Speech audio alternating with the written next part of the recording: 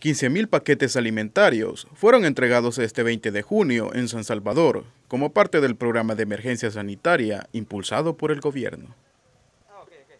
La comunidad Francisco Núñez Arrué, situada en la colonia Escalón, fue una de las que recibió dicha ayuda gubernamental.